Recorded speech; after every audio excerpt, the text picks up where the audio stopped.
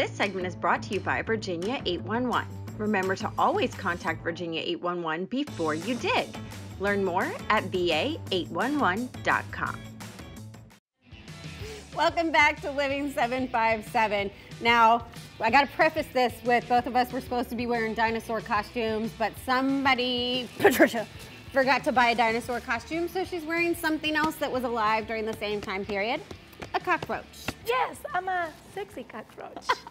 I have heels.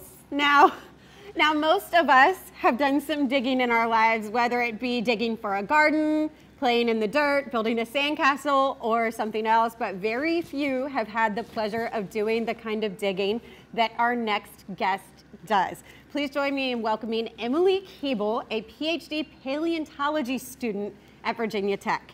Hey, Emily. Hi. How are you? Thank you so much for joining us. Thank you for having me. now, first off, OMG, dream job. Can you tell us how you got into paleontology? Sure. Um, I've always been like a dinosaur kid, obsessed with dinosaurs. Um, and I decided I wanted to be a paleontologist when I was about four years old. Um, but I sort of went a bit different on my career path uh, until I was 18 when I realized I was right the first time round, and I went to university to study paleontology at the University of Bristol in the UK. Um, and it's just been paleontology from there on. Doing pretty much anything else makes me miserable. So um, I'm here to stay in paleontology. That's so cool. And you actually have my other favorite thing behind you sharks. I don't know, have I got sharks yes. I've got lots of marine reptiles and uh, animals that lived in Bristol uh, during the Jurassic. But I'm, there's ichthyosaurs, there's, mos- there's um, uh, pliosaurs, uh, plesiosaurs and things. And yes, there is a little shark there, I, yes. Oh, that's so cool.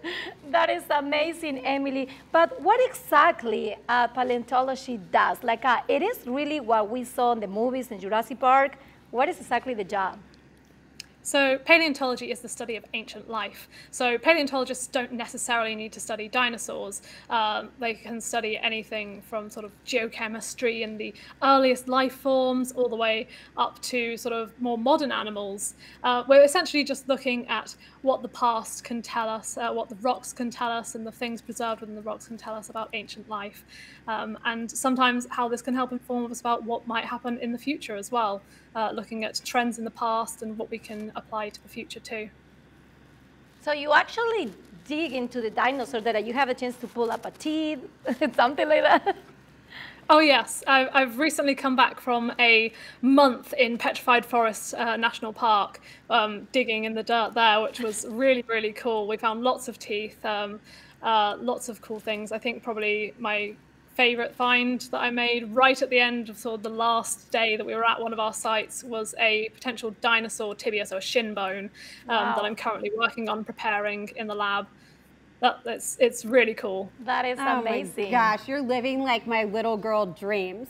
Now, going back to the field work you just did, when you sent us information, you said that you were looking for Triassic microfossils can you tell yes. our viewers why they're so important and why what they mean in the grand scheme of things?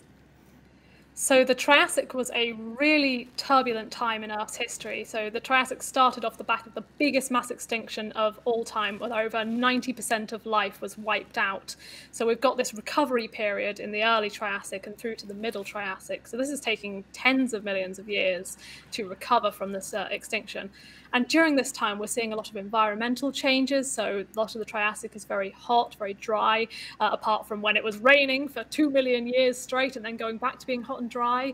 Uh, we've also got the beginning of the breakup of the supercontinent Pangaea, so when all the world's continents were sort of smushed together in one uh, big continent, we're getting this breakup. And all the animal life is uh, really interesting during this time as well. It's reflected in um, the animals, uh, all this environmental change. So uh, this is when the dinosaurs are first appearing, but uh, throughout the Triassic, it's more the crocodile relatives that right. are more dominant at first. See? So we're looking at this ch- interchange in faunas uh, and how this is uh, changing through time, how diversity is changing through time. And that's really what we're looking at when we're looking for these microfossils, very, very small fossils that can tell us a lot cool. about Well, Emily, um, our time has sadly run out. it went by so quickly, but thank you so, so much for joining us. And we're definitely going to follow along and keep up with your awesome and interesting work. Yes. Thank you. Thank you so much. Thank you. Bye.